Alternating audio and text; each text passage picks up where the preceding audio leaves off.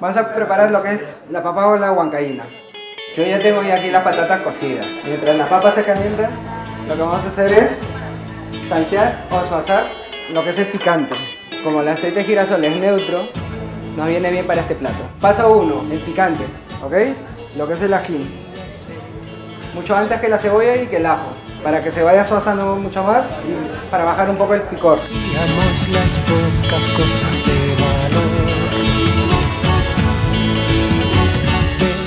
Para quitar mucho más el picante, si no les gusta tanto el picante de este plato, por ejemplo, lo que pueden hacer es hervirlo con un tanto de vinagre. Tenemos lo que es la cebolla.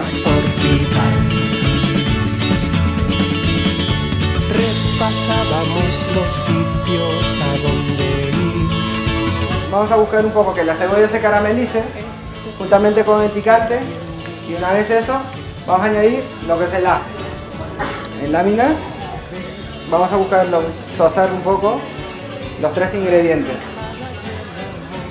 Como ven, va cogiendo un color, un brillo, aparte de estar dorado, no quemado. Tengo aquí lo que es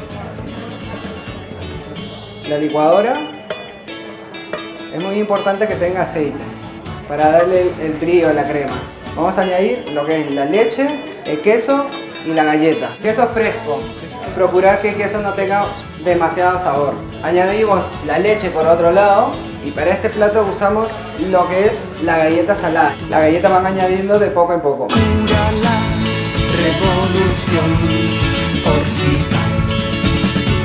Y aquí también podemos añadir una pizca más de aceite para ir cogiendo una, una textura un tanto denso. La sal todavía no lo he añadido porque el queso tiene un tanto de sabor, la galleta es un tanto salado, entonces yo espero al final para añadir lo que es la sal. Paso a añadir la sal, ¿ok? Pero al gusto. Si quieren pueden añadir una pizca de pimienta blanca. Si no tienen pimienta blanca, pimienta negra.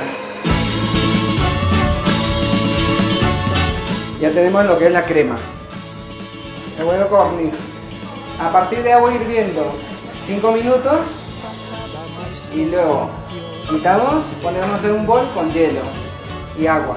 ¿Para qué? Para cortar la porción del huevo. Normalmente se suele usar huevo de gallina, huevo mucho más grande. El huevo de. No está negro por dentro. Y la gallina, o sea, el huevo de la gallina es a partir de agua hirviendo 10 minutos. Bueno, hemos quitado el líquido de la patata. Ahora vamos a pelar la patata y vamos a pasar al montaje del plato.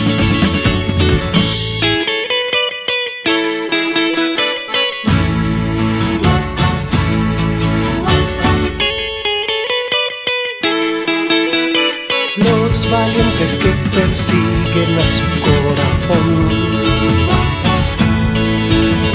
Sacan los tambores contra tu.